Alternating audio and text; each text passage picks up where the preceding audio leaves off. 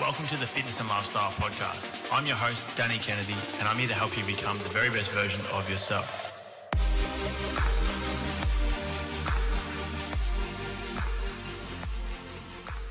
What's up, legends? Welcome back to this week's episode of the Fitness and Lifestyle Podcast. Uh, very fortunate today to be joined by Matt Pillios.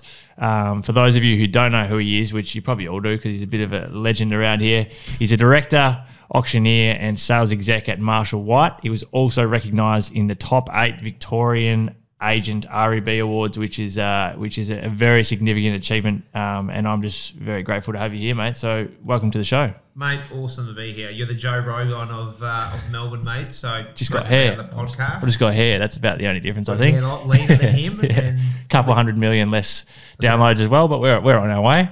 Yeah. It's got 30 years on you, though, mate. So Yeah, he does. thanks for having me. It's nice to be up near Chapel Street as well. And I know it's good, isn't hang it? out here about 20 years ago. I was. Did you? Yeah, Yeah, great, he would great part of the world. torn it up a bit. Pre, uh, pre my lovely wife, mate, there was some good times. Yeah, that's for sure. There was some uh, nightclubs called uh, Chasers and Cuba.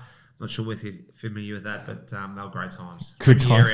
Yeah, I, I bet, mate. Um, when I was sitting down to kind of map out what I wanted to to touch on today, there was a bunch of different things, and, and we've actually got a few mutual friends. So I was chatting to a few of those boys as well around how uh, what angle I wanted to go with today. But you're, you're a man of many talents, so um, so I'm really looking forward to it. But mate, I've always wanted to do this, and it may not be a house, and this is pretty cringe, but show me this pen.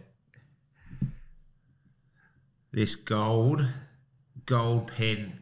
Not many pens have gold on there, so I don't think they'll ever make them again. Okay. The fact that uh, you've got this is such a bonus and capital growth here. Whatever it's worth now, it's going to probably be worth more than likely, not 100%, but do your due diligence. More than likely, this will be worth 10 times as much in the next five years. And it'd be really bad if you didn't buy this pen because just in case, the good thing is, worst case scenario, it'd be worth the same. Best case scenario, it's worth 10 times as much. I would love to buy it. If you don't want to get it, I've got probably five people that take it right now. That's unbelievable. I'll take it actually. That's awesome. That make you want to buy the pen? Oh, actually, I'm going to take this with me. Yeah. Kane, how much is it, mate? I'm going to take it with me, mate. Um, what I wanted to, to go over first, I think, obviously in sales in general, um, and I'm assuming real estate. I want to I want to definitely dive into a bit of the real estate stuff specifically today as well. But um, sales in general, um, being someone like yourself that obviously communicates a lot with whether it's a potential buyer or even just um, just in general. I know you do a lot of presenting and you used to do a lot with the with Fox Sport as well. Yep. How significant is I guess learning the art or the skill of of communication, effective communication? It's it's imperative to be honest because you know people rely on communication, especially when you're in sales. There's so many competitors, so you've really just you've got to be there twenty four seven for them, and and everyone likes to communicate differently. So that you know most a lot of people that are still probably my vintage and older, your parents' vintage, want face to face or a phone call. Um, there's a lot of people who love email. There's a lot of people that love SMS. You know, I get clients to say they'll just text me all day, won't won't um, won't call me. Um, and then there's you know there's, people need to know that you're present and you're active. So a combination of social media, um, sales, successful sales, seeing your name on boards. It's a, it's a funny game, but it's uh, it's great. It's great. And for yourself, let's say you're, you're showing someone through a property or, or you in any form of, I guess, I don't know if negotiation is the right word, but in any form of, of sale, what are some of the key things that you kind of keep in mind when, Yeah. when communicating with that potential buyer um, or, or any form of, like, I guess, negotiation, like things that you're really trying to focus on, whether it's body language, whether it's mirroring things they say, whether it's touching on their pain points, like what are some of the things that you really zero in on? The, the main things are is it really depends. So with houses, you've got to be careful. If if I've got somebody one on one at a house, you can be a lot more intimate and ask questions. So it's been being really warm and saying, "Come through. Here, here you go. Here's the house." Um, and provide a good service. And please let me know if you've got any questions. Here's a brochure. Here's an information sheet. So that's already part of the service because you've got some some good collateral to give them. They feel like, wow, how good's this? Um, so then you, then you're, you're there, but you don't want to be too pushy. And, and sometimes my issue is um, sometimes being too salesy. But then there's other times where you'll be at an open for inspection, and I'll have five or six different people there, and you'll let them in. You'll present the property really well, but I won't say to them, "Oh, what do you think?" Because the worst thing they can say is, "Oh, we don't like it. Actually, it's too small. Didn't like the bathroom." And the other people hear it, so it's like fantastic to see. you. I know you like it. Yeah. Uh, I'll give you a call and uh, we'll touch base with you. And all of a sudden, it's really human nature. People's the fear of missing out. The other people go, oh, goodness, you know, they like it. Mm. We should like it. So it's about reading the play and Yeah. reading the situation. outside of real estate in general, is is selling or I, again, I don't know if persuasion's the, the the best way to put it, but how much time and and um, effort did you put into educating yourself around the topic, or was it something that you kind of learnt on the fly? Look, with sales, you've got an advantage, Dan. If you so, I love people Yep. in, in per um, in in general. I love people being engaged with people, and, and naturally that means you like selling. So a lot of the good people, a lot of the good sales people, I should say, generally like people, like selling, and and generally like the fact that they're um, spending time and, and making money with with people. So the the biggest thing is is learning the product. So you can get to a certain part in real estate, but you've really got to know your values, your house. People got to res- to be able to buy for you and sell with you is respect that you you got your product knowledge is really good. Mm-hmm. Combination of your presentation is good, your plan, your team, Yep.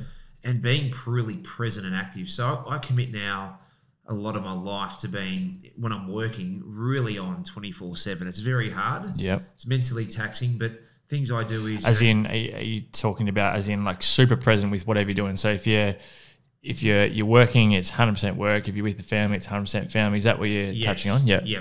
So what I like with real estate is really it's a it's a six to six and a half day gig a week. Mm-hmm. So I really make sure that three weeks in summer and, and three weeks in winter, which I've just got back from Bali, I have a really nice break. Yep. So I can refresh, recharge, Mm-hmm. and mentally get better. But uh, what I do is when I'm on, I'm on. You know, so people ring me at, at six a.m. They'll get a call back, or, or whenever I wake up, and if people contact me at nine, nine thirty, they'll get a text back or call back. And not many, but most people, if they get me on a Sunday, will, will probably get me on a Sunday as well in Mm-hmm. terms of calls. Um, and, and mate, I'm working all day every day. How do you find that in terms of I don't know, even know if there's a, a potential to even have any real balance there, but like how do you find that in being able to actually switch off and, and still have your time to yourself and, and like you said with the family or set almost setting boundaries to an extent? it's hard. It's it's communication with the family. So I really communicate with my wife and two kids who have become young adults now. Son's thirteen and daughter's nearly 12 That dad works so much for us to have a better life. So they understand why why, why I'm away a lot. Um, two is to say that we've got you know, a couple of family holidays a year, um, and there's always that time together. And Sunday is family day, so I'll take a few calls on the Sunday.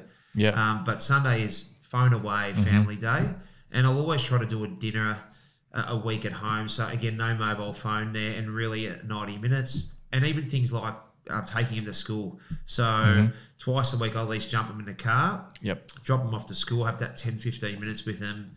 Um, today, you know, I had a meeting. I went and watched my son play at Brighton Grammar footy for Yep. a bit, and I, I didn't. I had three or four phone calls came through. As soon as I jumped in the car on the way back to this podcast, I, I, I rang them back. So it's extremely hard, Yeah. and it's something that I won't be doing forever at this intensity. Yep. But it's like you know, if it's a sportsman in footy, while you're in the peak of your career, um, you play and train as hard as possible. Yeah, you've got seasons. Yeah, Yeah. hundred percent.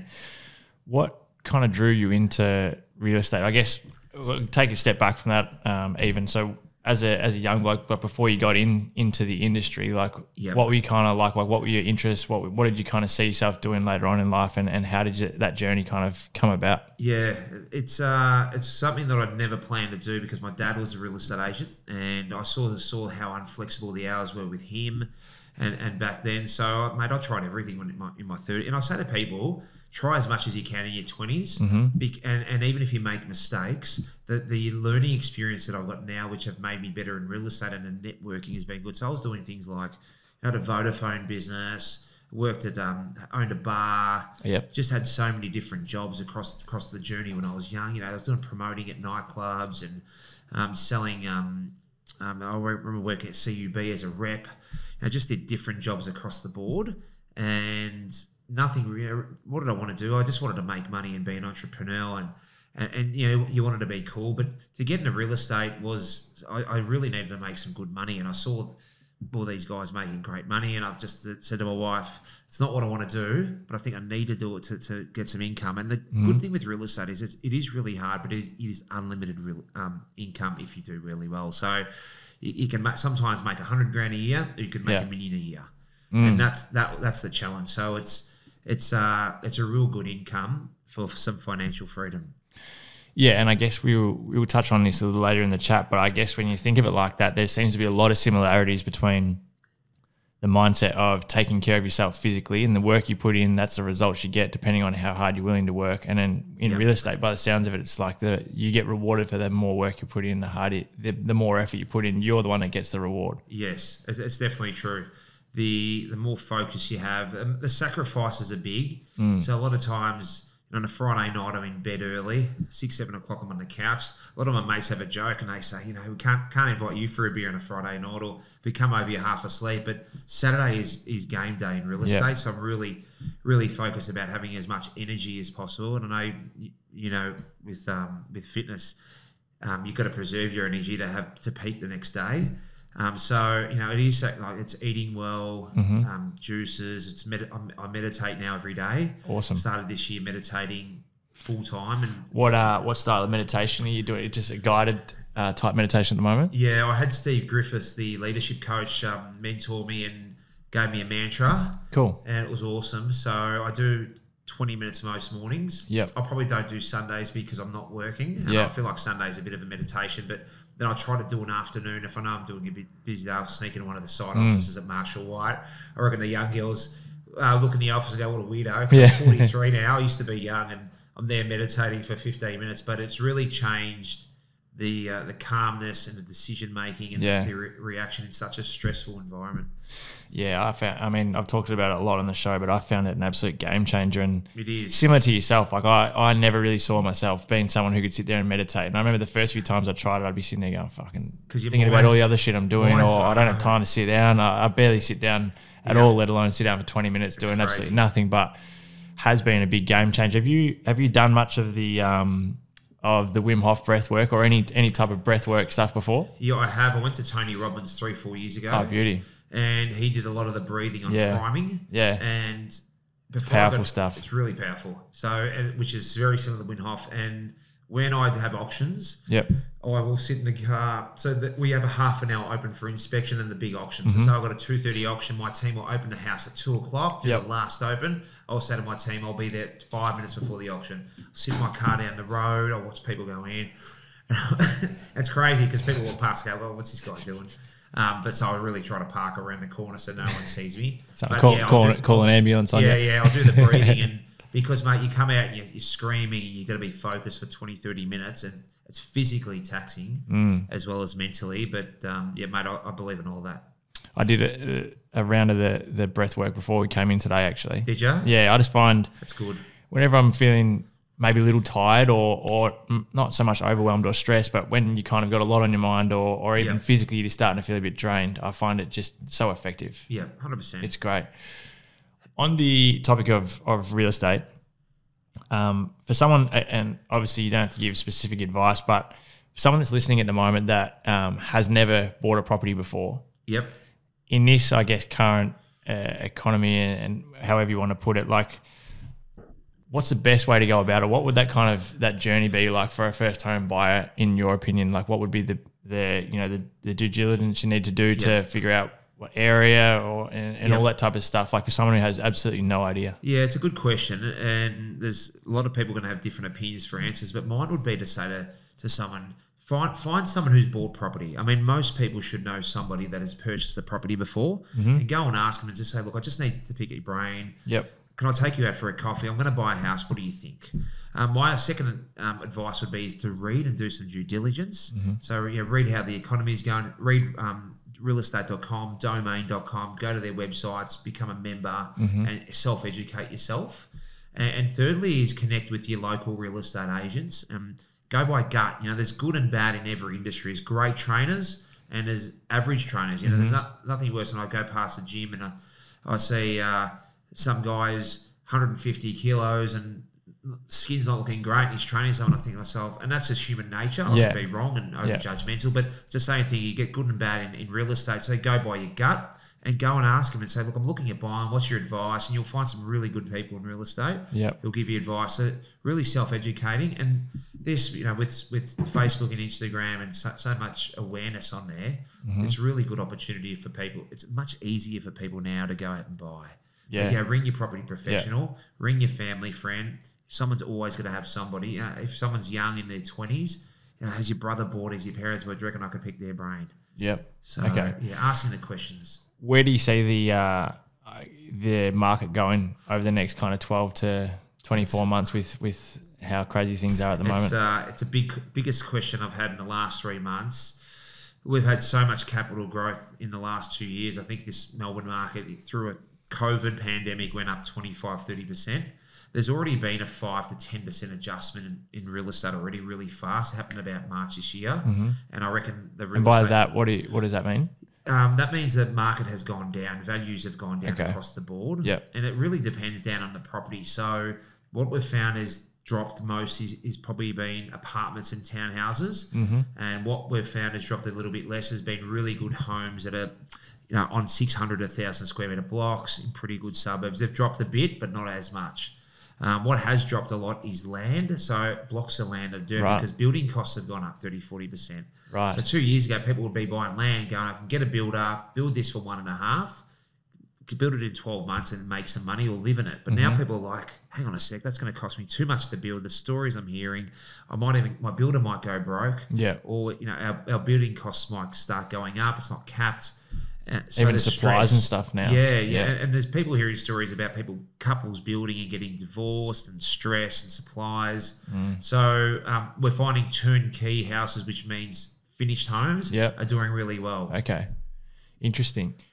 What um, this is something that I've I've just heard. I, I consume a fair bit of content, not so much specifically around real estate, but you know, guys like I don't know if you're a big fan, but guys like Grant Cardone um, and, and people like that. And I hear mixed opinions on, and I don't know whether this is going to people who have already got a property or not, but whether or not you should rent the home you live in or buy the home you live in. So, It's buy one to question. use as an investment and rent where Yeah. you live, or what's your kind of Yep. So my financial advisor would say, mate, don't. First, you got to have a primary place of res- residence because if you do get an investment, you'll have to pay tax on the rent.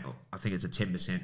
So you'll be paying tax on that. So it really depends what you want to do and where you want to live. So, for example, I've been in an area where uh, early days it was t- in Brighton East there that I actually couldn't afford to purchase a house because the median price range was like two and a half to three and a half million. Hmm. And fi- three, five years ago, I just couldn't afford that. yeah. So I was renting uh, for a while and owned something else smaller, and it's exactly like that. But now I've done done the swap over in terms of owning in that area because it's my premium principal price uh, residence, pla principal place of residence. A Yeah. Friday afternoon. Yeah. Um, it's always I'm always tired on a Friday arvo because uh, it's been a hectic Monday to, to Friday, and I, Friday afternoons I usually have off. Um, so, but yeah, pr- uh, principal pri- place of residence. But um, it's a good question. I always would, would recommend if you're a family, have the place. Mm-hmm. But if you're younger, you can have you can rent somewhere because you want to be in that area. Like Yeah. most people say, you know what, I want to actually live in South Yarra, Prahran, Yep. Brighton, Albert Park. Yep. Mm-hmm. Can't afford a place there, so I'll keep my um in the in the burbs. I'll keep my place there, rent that out, and I'll rent another place. Yeah. Because quality of life is different for everyone. Yeah. Like I mean, someone like yourself who's a, a great networker, you might only own a place and say, and I don't know if this is true in Horsham, but you have a better life here Yeah. because you meet new people, you mm-hmm. network your business as well, and it's smarter. You know, it might cost you a couple hundred bucks out each way, Yeah. but what you get in life experience and what you get Yeah. in business. So Yeah. it really depends. It depends on the individual. Yeah, I, I definitely agree. Even even renting because I when I moved I moved here straight after year twelve. Yeah. And in that time period, I've, I've been in a few different um, rentals down here. Yeah. Um, and you know, there was a year I think it was where I was it was only maybe thirty to forty minutes away from Yeah. work even. And Yeah. obviously, like with with my job and the amount of hours and stuff I was doing, it, Yeah. made a significant difference when I moved pretty much five to ten minutes away from work. Like just quality of life Right. in terms of more sleep. Who wants to spend an hour a day in the car? And, I, I feel bad saying that to people, Mm. but I've been that fortunate and very lucky. But I used to be for the first fifteen years of my life, I was driving all over the place, spending two hours a day in the car. And the fact that I'm able to, I'm very blessed to work in the same area that I live in. You know, Yeah. so I go to work, it's four minute drive. Yeah. Kid, pick up the kids from school, and sometimes I don't even leave the suburbs. Um, and it's the quality of life, though, the happiness that I have day to day Yeah. has increased exactly like Yeah. what you're saying. Yeah. You mentioned the mindfulness stuff before um, about the meditation and whatnot. Outside of that, um, again, we'll, we'll touch on the fitness side soon, but do you have any form of, I guess, routine or habits that you like to do on a daily basis to, I guess, prime yourself mentally and physically um, Yeah. for the day ahead, or whether it's a, a, debrief at the end of the day, or what does that look like for you? Yeah, I'm trying to get better, and it's changing each year. But for me, it's um, it's training physically every most days. Mm-hmm. So, mate, I'm 43 now, so it's not getting easier. But I train at least five days a week. It's awesome. Um, which probably for about an hour, hour and a bit most days. Yeah, good. And I just feel like to myself, I'm physically as fit as possible, Mm-hmm.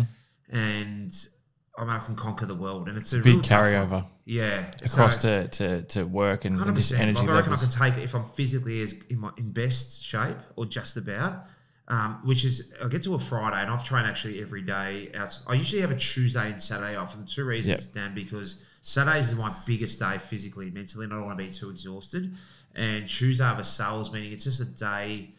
What I'm finding in five days a week is just is enough to whilst I'm working sixty hours a week. Um, but I just feel I have to train every day, and if I don't Yeah. train, um, I just don't feel mentally right. Mm. So even though sometimes, like for example, today I put my alarm at six, because I just got back from Bali, it's that first week back. Yeah. It's Friday. I couldn't get out of bed till seven. Yeah. So by the time I got to the gym, it was seven forty-five. But I said, you know what, this is too important. Mm-hmm. Didn't get out of the gym till nine fifteen. I did forty-five minute bike, but forty-five minutes of weights. Yep. And by the time I got home into a suit, it was 10, a bit later than I wanted to be. Mm-hmm. But that's the flexibility. So tonight I could, after here, if I wanted to do two hours of work, I could still do that. Yep. But the training physically every day with with the meditation is, is a Priority. Game changer. Yeah. Did you have, whether it was at the start of your um, career in the industry um, or whether it's now, do you have any, I guess, mentors or people that you go to for sources of information, whether it's content online or whether it's in person, you kind of meet up with someone or a business coach or whatever it may be? Yeah, I do. I've got, had a fair few over the years. Um, like so, in real estate, there's been some guns like Tom Panos. You've probably heard of him. Massive in Sydney, and but really good. He's mentored me a lot. A guy like Chris Helder, famous ex-American speaker. Um, so there's been a lot of good real estate coaches. Probably the best thing I've had is when I joined Marshall White five years ago. Marshall White is lucky to have about three or four of the best agents in Victoria, probably top ten agents in that company. Yeah. So it's probably uh, you know, Marcus Chiminello, James Tostevin, Oliver Bruce, a couple of the guys, and then, then even our owners, John and, and James. Um, they've got they just have those guys and Andrew Hain. These guys have mentored us. So sometimes we'll go try to catch up with these guys at least once or twice a year. Yeah. And you know, they're they're all older, more experienced than me. They're all sort of between forty four and 60 and always you know always learning ask the question i still make a lot of mistakes yeah it's all about learning by my mistakes though and you know i've, I've got a new um, general manager that's an ex-olympian drew ginn who's started um, at our company that eh, awesome foursome if you if you're over 40 they were the famous rollers i think they won a couple of and, and even drew just you know spending um, a couple of hours with him Yep. and just always a student. I always Yeah. say to everyone, doesn't matter with you 23, 43, or 63, you should always be a student. You Yeah. should always, you're always learning.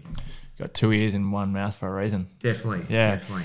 Do you um uh, it doesn't doesn't really seem like you would have a great deal of time to fit this in, but do you do much uh, consuming of content via like reading or audio books and stuff like that?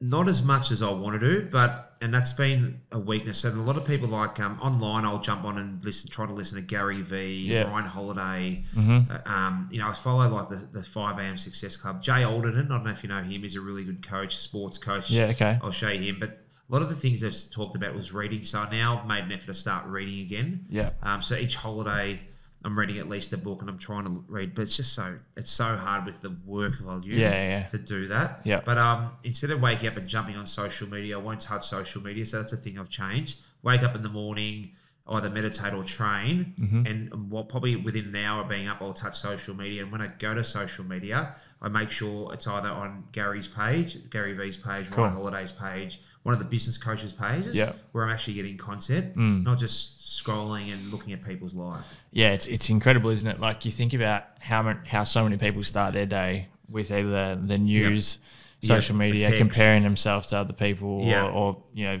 looking at negative news stories and whatnot, and you and you think to yourself, it's fuck, it doesn't take a rocket scientist to figure out that. there's a reason why you're having a shit day, or there's a reason why you're in constantly a bad headspace when this is the stuff you're consuming, particularly 100%. the first thing when you wake up in the morning. Yeah, it's it's the quality, it's the people that you you look at. So even yourself, like I love when I see your pot because it's you're so, super fit and young and super successful. If I if I jump on Facebook and Instagram, it's about, I- I'll look at really successful people. You know, people where do I want to get role models, Mm-hmm. etc. Yeah, that's awesome. Obviously, with the amount uh, that you're doing and trying to have sustain uh, energy levels and, and focus and and um, and whatnot throughout the day and throughout the week, nutrition has to play a pretty big role in that and hydration Yeah. um, and whatnot. How does your kind of nutrition look on a day to day basis, and, and how much of an importance do you place on on it? Mate, it's everything. Um, so one thing I want to start doing is probably fasting one every 14 days. But nutrition for me is so I wake up every morning. I'm a one coffee person a day, double shot in the morning coconut oil. I actually use some mushroom powder. Which one? Um, I use the what's the Reishi. brand? Yeah, Uh, R- R- Reishi brand. R E I. oh yeah, yeah, yeah. Reishi. Yeah. yeah. The the so um, Got to try it a bit of lion's mane. Lions mate, I've got that as well. Yeah, and the cordyceps is quite good cordyceps as well. is in there yeah, as well. Um, Awesome. They said don't mix them all up, but I just mix them Fuck all it. up. Yeah, chuck it in. chuck it all in. Um, so nutrition is huge. So I'll have look. People say to me, "Do you have supplements and are you on stuff?" Because you, it's hard work, but I do use amino acids Mm-hmm. pre-workout Yep. um, because I'm trying to keep size. So once what happens is you get in your 40s, you lose muscle mass. Mm-hmm. I'm naturally okay, but I've been using a slight bit of creatine, which is Yep. not healthy. Yeah. But it's the only thing that helps me in terms of keep some size. Um, a lot of amino acids and protein. And then when I get so when I get home, I'll have a protein shake with real wholesome nut, wholemeal nuts, fibers, Mm-hmm. Yep. and that will that will last me through to about midday. And then I'll have a green juice, kale, Okay. spinach, goji berries. So I've got that every day, Yep. uh, Monday to Saturday, and I'll have a green juice about midday. And then I'll probably have a, a really healthy chicken wrap. My lovely wife most days will make me a healthy chicken wrap, organic chicken, avocado, eating that by at three, four o'clock. And I always end up with a light meal. So most nights I'm eating tuna salads or sardine salads Okay. um, maybe a steak one night a week, hmm and I've really, really don't eat any carbs after three, four o'clock. Pretty dialed in, mate. It's good. I know, I know. As you get older, uh, your metabolism changes. So Piece it all together, gotta- You know, and it's for energy levels as well. Yeah, I think with the with the creatine as well, in, in particular, I reckon if you're having the five like around five gram dosage, It's just a consistent consistently Correct. instead of trying to load it and come off Yeah. it. I think that's that's that's what I do anyway. Is I just Yeah. keep that five gram dosage pretty much daily. Yeah, hundred percent. I just sprinkle. I have a bit of pre-workout and and, and sprinkle- the pre- creatine, and when I'm at halfway through it, the amino acids is great. Yeah. Trent from got his company. He's going to kill me, but he looks after us really well. And mate, healthy protein afterwards with fiber and, and oats and really good foods. What uh, if there is anything or something that you're conscious of at the moment? Um, what is like an area, I guess, of your life, or maybe it's just a personal thing, whether it's something you're wanting to learn or, or habit or quality or whatever that at the moment is, I don't know if roadblock's a good word, but something that you feel like you need to improve, like something that you're consciously trying to improve on. Yeah, my probably my so I've been always so too focused on performing. So now it's about becoming a better, better leader in terms of better teacher. Um, things that ultimately maybe straight away don't give you income or don't give you something else, but they'll give you satisfaction. So I'm really now trying to become a better mentor, give have a bit more time to give back, whether Mhm. it's teaching and you know doing as much as I can. And like if someone rings me up and says, "Can I spend half an hour to pick your brain?"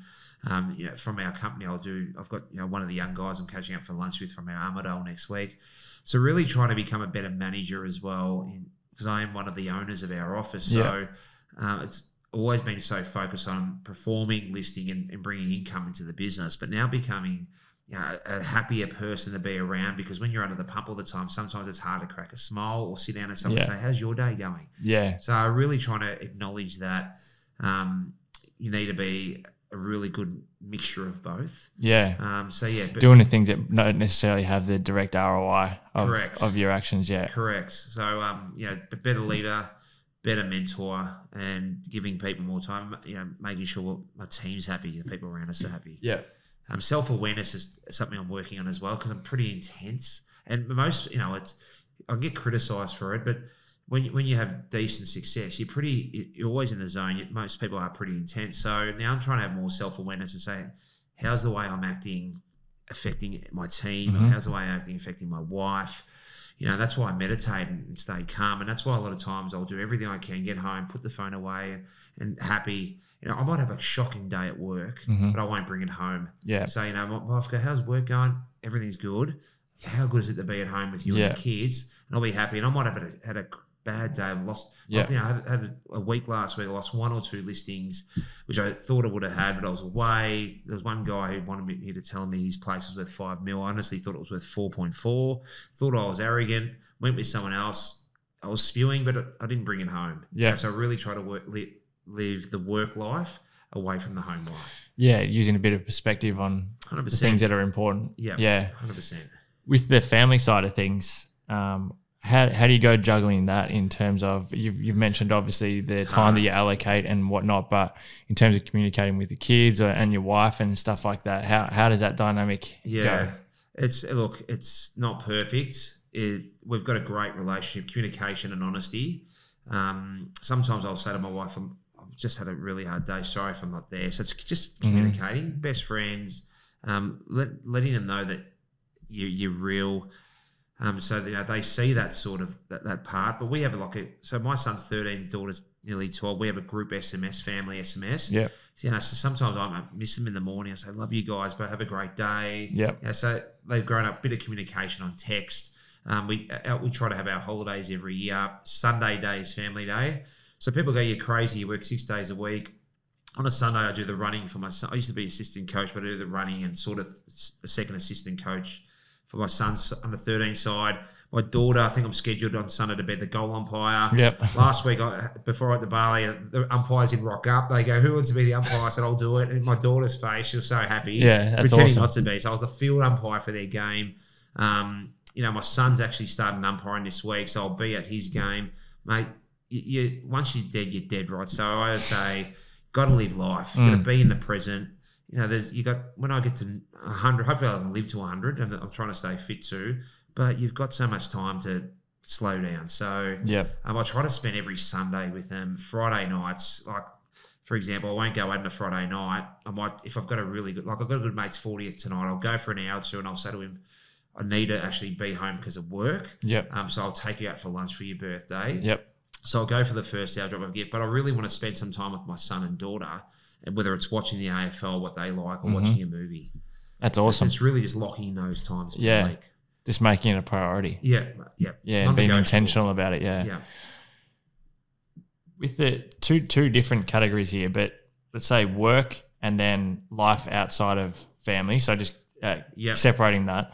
What are the two most rewarding things for you within the job and then with outside of work, whether it's you know watching sport or, or Yeah. catching up with mates? Like what are, what are kind of the two things that you get a lot of um, enjoyment out of? Mate, I, with work, it's a combination of having happy people, and it's not an ego thing, but people saying it was great to deal with. It's a, such a referral based business. Mm. So with work, it's a combination of having a great reputation and also you get paid pretty well. So when you see that paycheck, you say it was worth it Yep. because you do sacrifice a lot of time, stress, blood, sweat, and tears. I mean, when we caught up uh, again, I mean, I've got to invest in. I love dressing up well, but I wish I could dress up in a t-shirt. I made Man, I felt very underdressed when I walked out and saw you today. but you know, I've got this is an investment as well. Yeah. So you know, I wish I could wear a cap a lot of days, but I've got to look. I've got to try to put my hair product and wear Yeah. a nice jacket because that's the service Yeah. clients like. So if, if I rocked up um, a little bit unshaven and not hair not done, and the other guy rocks up and or the other overdressed, they're probably going to go with the overdressed person. So Yeah. this person cares. Cares more. So it's about that investment. So uh, in, in terms of real, going back to your question, the real estate part is the financial reward as well as the enjoyment and making ha- making a difference in people's life, happiness. Mm. And you know, one out of a hundred or two out of a hundred, I might have a have a bad, but ninety eight out of a hundred, I get it right and, and have a really good referral based business.